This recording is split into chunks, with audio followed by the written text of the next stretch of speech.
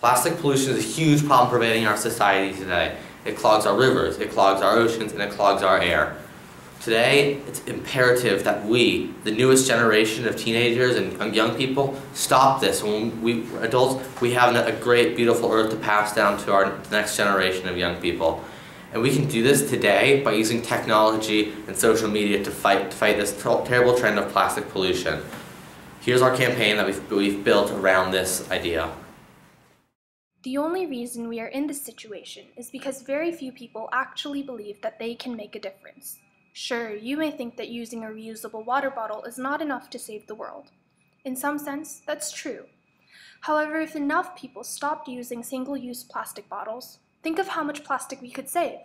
So do your part. Reduce, reuse, recycle. You want, if you want to help a little more than just recycling more, log out into our Facebook page put a cap on plastic use. We also have a hashtag for the Instagram, hashtag reduce plastic use. Right now, we are planning a May Eco Photo Challenge in the Instagram. Feel free to join. We are a youth group representing the California Academy of Science in San Francisco, and our goal is to reduce plastic pollution through different forms of social media. Thanks for watching the video.